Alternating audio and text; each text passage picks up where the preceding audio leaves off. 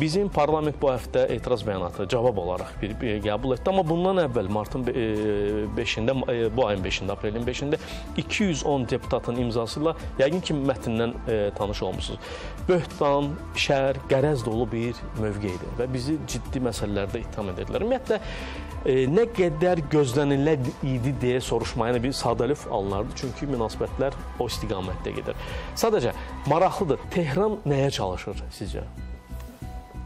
Tehran parlamentinin, İran parlamentinin Aha. bu şəkildə Azərbaycana qarşı bəyanat qəbul etməsi çox düşündürücüdür. Təbii ki, biz bunu gözləyirdik, amma bu səviyyədə açıq mən gözləmirdim.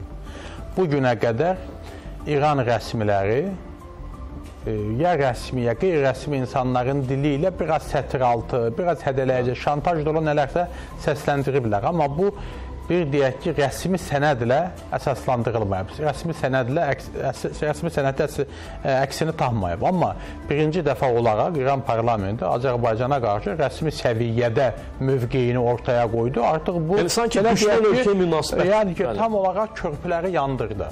Bəli. Yəni bu bir mənalıdır ki, tam olaraq körpüləri yandırdı və bu çox bizim üçün niyə bu təəccüblüdür? Təbii ki, dünən biz parlamentdə bəyanat qəbul etdik və Milli Məclis onların cavabını verdi. Düzdür, biraz deyək ki, onlar ə, daha şantaj dili ilə hədə qorxu belə yəni onların etdikləri ruhuna uyğun idimi? Çünki Qüdrət Həsənquliyevin açıqlaması o ki, çox yumşaqdır və bunu yox, qiymətləndirməlidirlər. Bizim mən düşünürəm ki, bizim qəbul etdiyimiz Milli Məclisə qəbul etdiyimiz bəyanat tam normal Hı -hı. və elə də olmalı idi biz İrana İranın dili ilə hədə qorxu, şantaj, uşaq kimi sanki iki qonşu bir-biri ilə dalaşır, bir-birinə daş atır kimi söz davasına çıxmağımız doğru olmaz. Körpüləri yandırmaqda maraqlı deyilik, bəli. Biz körpüləri yandırmaqda maraqlı deyilik. Amma bununla bərabər biz daha müdrik davranırıq. Biz məsələn dövlət kimi daha müdrik davrandıq. Dövlət kimi daha belə samballı hərəkət etdik və dünya da bunu görür və qiymətləndirir. Onlar isə biz uşaq kimi dav eləyir, qışqır, bağır və qışqır, bağır salmaq, şantaj etmək bu ancaq və ancaq zəiflərin işidir. Bilirsiniz bu nəyə bənzəyir? Biz hamımız məktəbdə oxumuşuq uşaq olanda.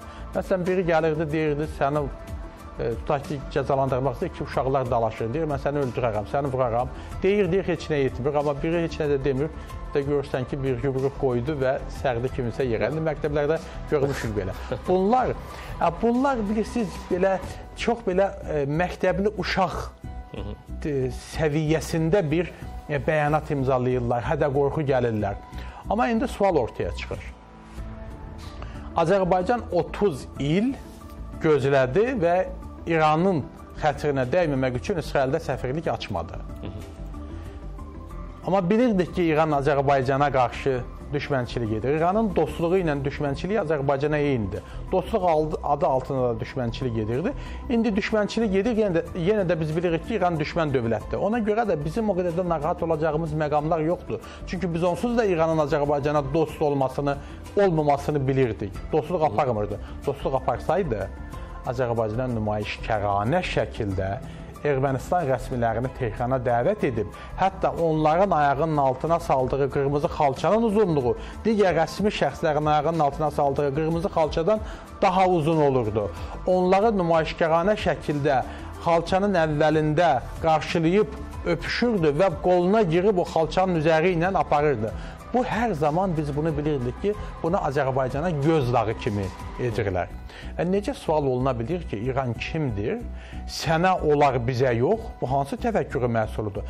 Sən Azərbaycanın düşməni ilə qucaqlaşa bilərsən, onu dəstəkləyə bilərsən, e, ona silah verə bilərsən, rəsmi şəkildə onunla münasibət yarada bilərsən, Azərbaycan isə yarada bilməz. Bəli. Nəyə görə Azərbaycan səninlə siyasi xarici siyasətini e, uzlaşdırmalıdır? Bir kəlmə də burada bir məsələndə mən demək istəyirəm. E, əslində e, bu Tehran rejimi e, İsraili siyonist bir rejim kimi təqdim edir, onu düşmən elan edib. Amma Biz isə onu qardaş görürük. Mən şəxsən İsraili qardaş dövlət görürəm, dost dövlət görürəm. Nəyə görə? Çünki Onlar Azərbaycanın yanında dayandı. Bizə bu 30 ildə də kömək ediblər. 44 günlük müharibədə də kömək etdi. İran nə ilə yadımızda qaldı 44 günlük müharibədə?